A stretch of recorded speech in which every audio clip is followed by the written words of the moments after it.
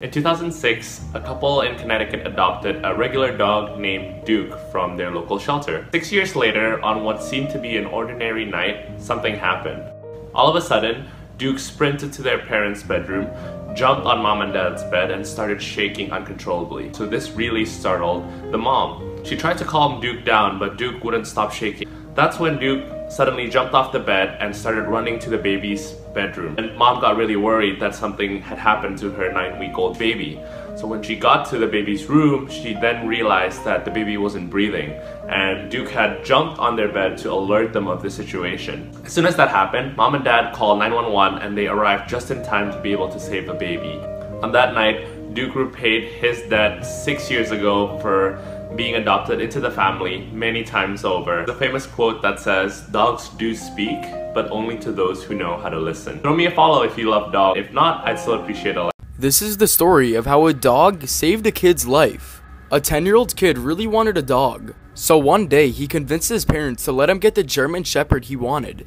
But the kid's parents only had one condition they made him walk the dog in the afternoon and at night. The German Shepherd's name was Calvin. On one snowy December night, the kid was taking Calvin out for a walk. The kid was wearing a snowsuit so he wouldn't get cold. After five minutes of walking Calvin through the neighborhood, the kid started to hear random footsteps come from behind him. The kid turned around to see a man approaching him bundled up in snow gear. When the man approached the kid, he started to pet Calvin. The kid was really uncomfortable. The man then said to the kid, You shouldn't be out here all alone by yourself. The kid then told the man that he wasn't alone because he was with his dog, and then walked away. The kid didn't even say bye. Not even a minute later, the kid realized that the man was still following him. The kid was caught off guard because he then realized that the man walking behind him was now sprinting towards him. Calvin then started barking at the man. The man grabbed the kid with one arm and covered his mouth with the other arm. The kid was only 10 years old, so he didn't know what to do.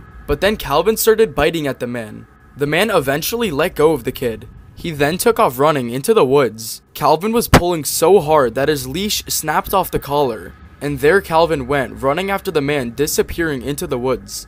The kid heard Calvin's bark slowly fade away into the woods.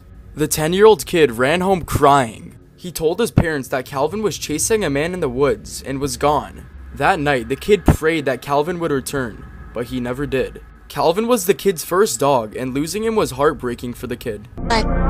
We're supposed to be friends forever.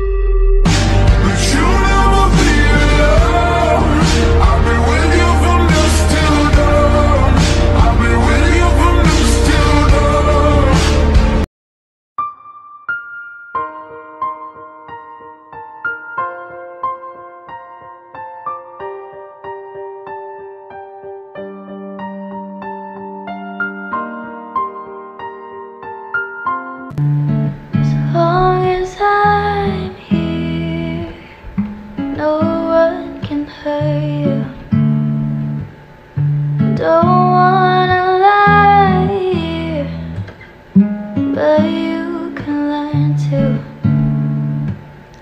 If I could change the way that you see yourself Would wonder why you here They don't deserve you.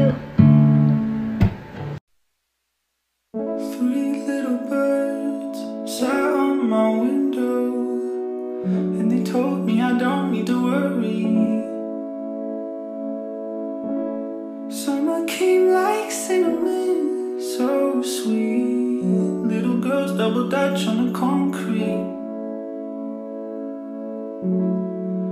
Maybe sometimes we got it wrong, but it's alright. The more things seem to change, the more they stay